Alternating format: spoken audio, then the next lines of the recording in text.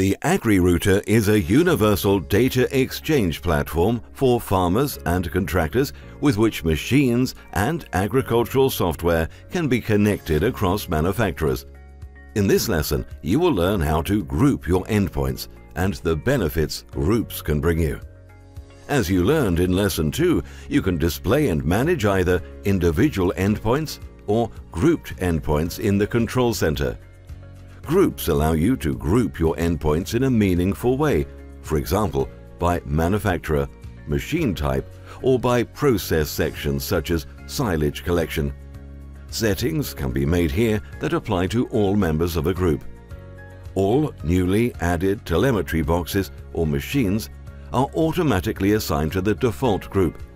This group is always present and therefore cannot be deleted you can manually add agricultural software to this group. Groups can be edited like endpoints. Also here, you can specify the name and a description. With a click on Delete, a created group can also be removed again. However, the group members, in other words the endpoints, remain, are not deleted. You can retrieve support information via the I button. Further information is available in the Help Portal Learn box by clicking on the question mark symbol.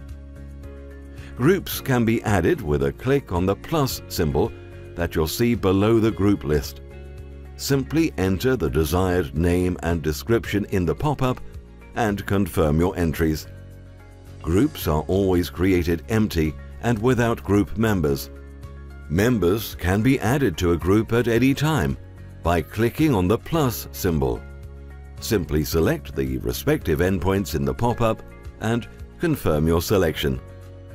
If you select endpoints in the member overview, you can remove them by clicking on the delete icon. Again, you must confirm your action in the pop-up. By clicking on the endpoint, you will get directly to the respective endpoint details, which you can then edit. The primary advantage of groups and the default group is that you can define a basic routing for multiple endpoints simultaneously.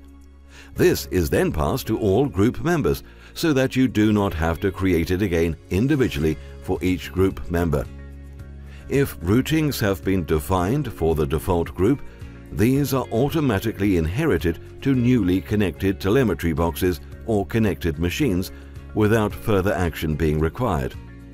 Nevertheless, you can make additional individual settings, for example to define additional routings for individual endpoints. With the AgriRouter, you too can simplify your processes and improve the profitability of your business.